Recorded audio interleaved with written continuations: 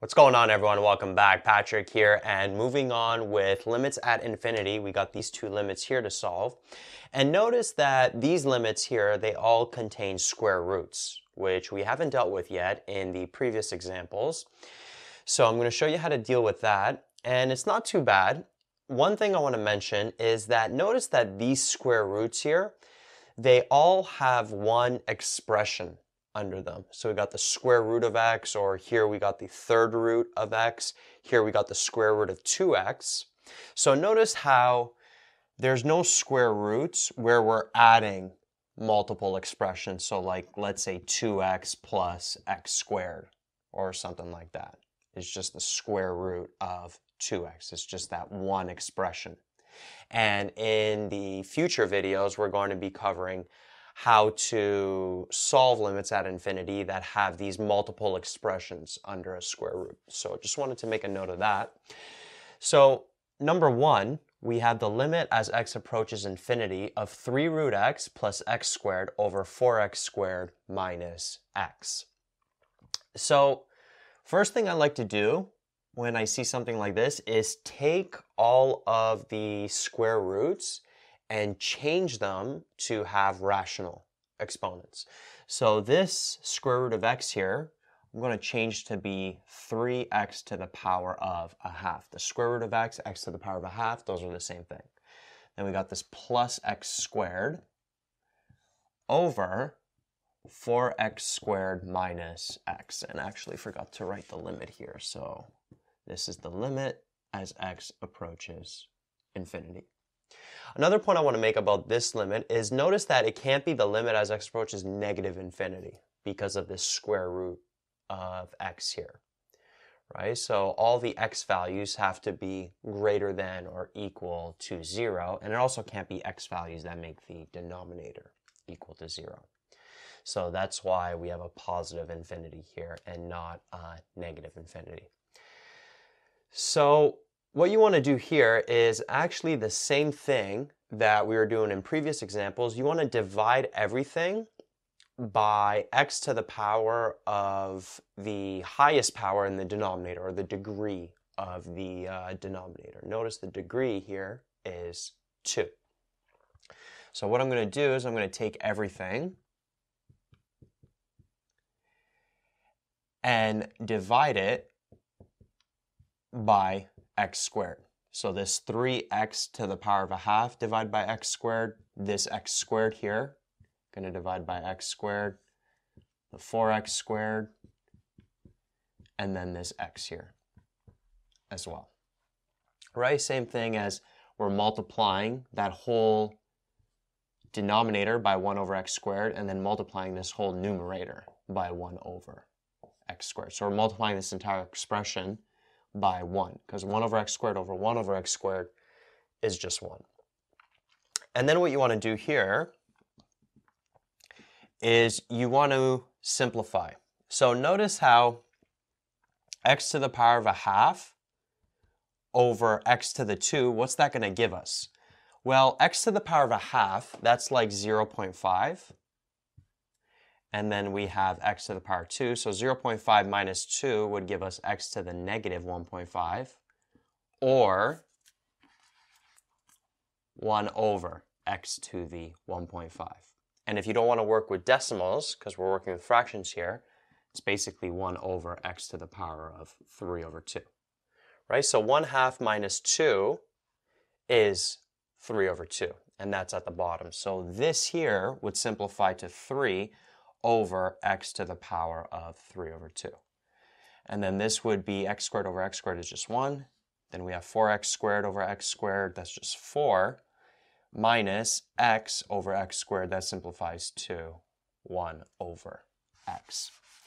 So now what's going to be happening is um, whenever you got these square roots, these single terms under a square root, the only difference between these questions and the ones previous where there were no square roots, it was just polynomials in the numerator and denominator, is now you're going to have to be working with fractions. So the algebra is going to be a bit more of a headache, but it's still not too bad. And then from here, once you have everything in this format, so this is actually the exact same as this. This and this are the same expression. But now what we could do is we could plug in this x value of infinity.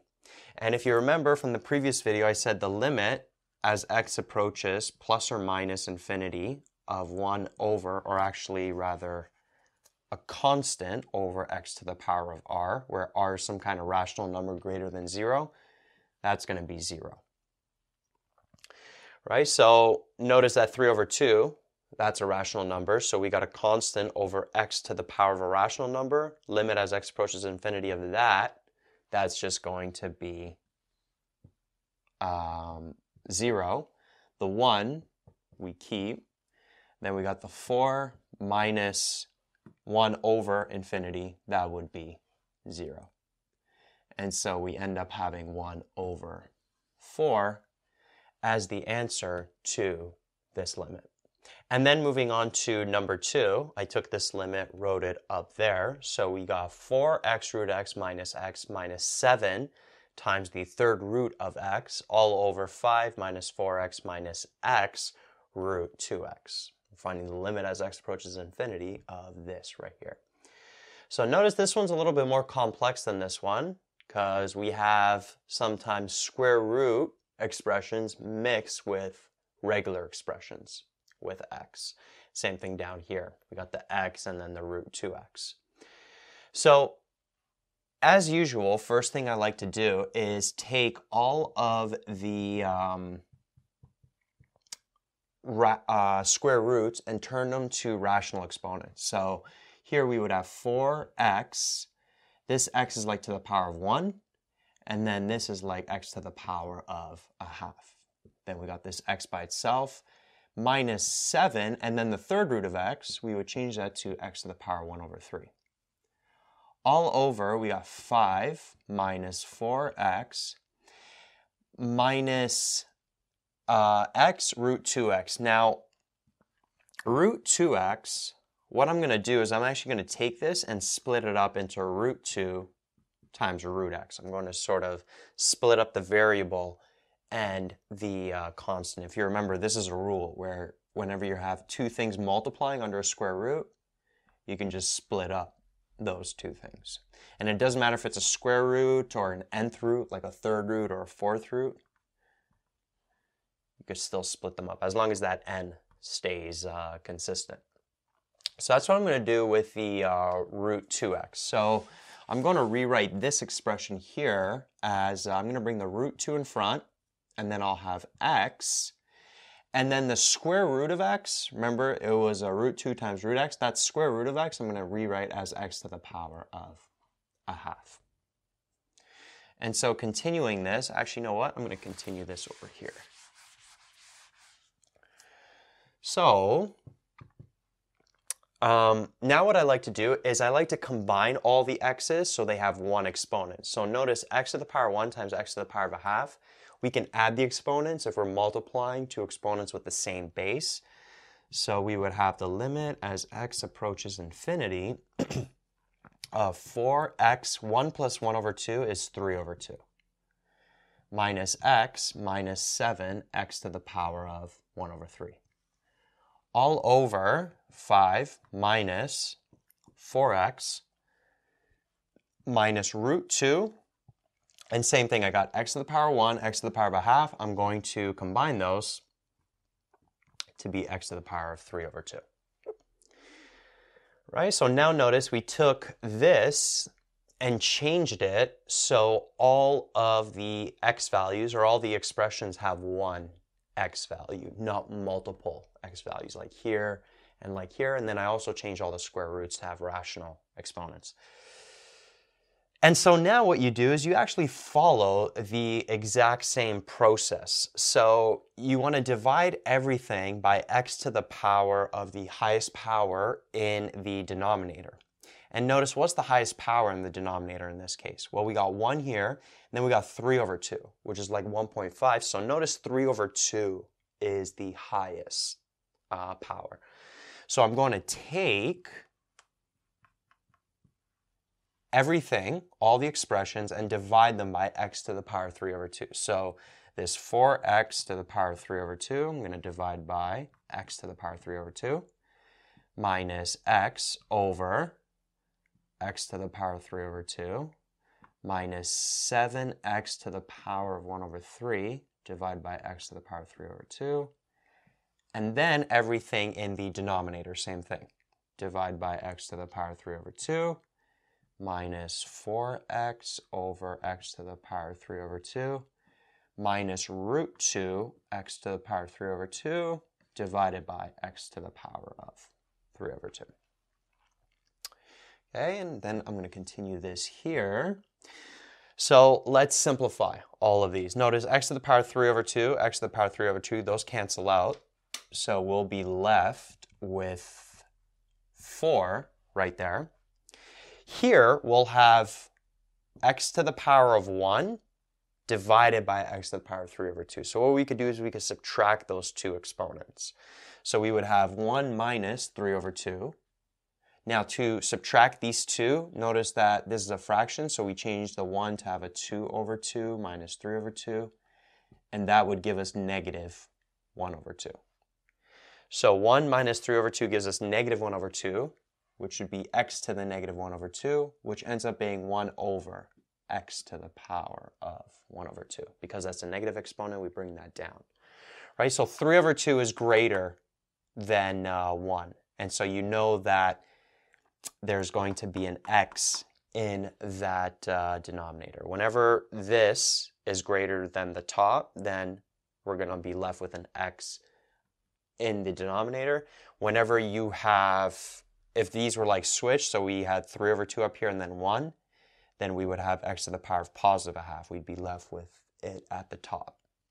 Okay, so this here would be minus 1 over x to the power of a half minus, we got this 7, and notice we got 1 over 3, 3 over 2. 3 over 2 is larger than 1 over 3, so we're going to be left with x to the power of something at the bottom. So we would do 1 over 3 minus 3 over 2. If we get a common denominator between these, this would be like 2 over 6 minus, uh, what, uh, 9 over 6? And so we'd end up with negative 7 over 6. I believe that's right. 2 over 6, yeah. Looks good to me. So this x would have an exponent 7 over 6. 1 over 3 minus 3 over 2 gives us 7 over 6. Uh, and then all over, uh, simplify all these. 5 over x to the power 3 over 2, that doesn't simplify. So let's just leave it minus 4 over x to the power 1 over 3 over 2. We did that up here. That ended up being x to the power of a half left in the denominator. And then over here, notice how these three oh, x to the power 3 over 2's cancel out. So we're just left with minus root 2. And so now this here is the exact same as this expression. Both of them are the same, but now that it's in this format, we could plug in this x to the power of infinity for all of them. So notice that this would be 0, this would be 0, this would be 0, this would be 0, because they're all in that format, the constant over x to the power of r. And so we'd be left with 4 over negative root 2, or negative 4 over root 2 if we bring that negative to the uh, numerator. And so that's the answer right there. And a lot of times, certain textbooks, they may show you the answer without a square root in the denominator, so they'll rationalize it. So this would be like root 2. You multiply by root 2 over root 2, so you end up having negative 4 root 2 over root 2 times root 2 is 2, and then negative 4 over 2, that simplifies to negative 2. And then we have that root 2. So either this here or this here, they're both the exact same thing. If you plug both of those into your calculator, you'll get the exact same decimal. Just sometimes textbooks will show this answer instead of that one. So thought I would make a note of that. And so that's how you deal with these kind of limits at infinity where you have these uh, rational or uh, square roots and then you turn them to rational exponents. And as I mentioned, um, notice how all of these questions, there was one expression under the square root. And what we're going to be doing in future videos is showing you how to deal with stuff that has multiple expressions under the square root, where you're adding or subtracting multiple expressions. So we'll have stuff like, like uh, let's say the square root of 3x squared minus 5x. What if this was part of the limit? How do you deal with that? Or maybe even the fourth root Uh, of 5x to the 4 minus 6x squared. How do you deal with something like that if it's part of the limit, right? So we'll deal with that in future videos.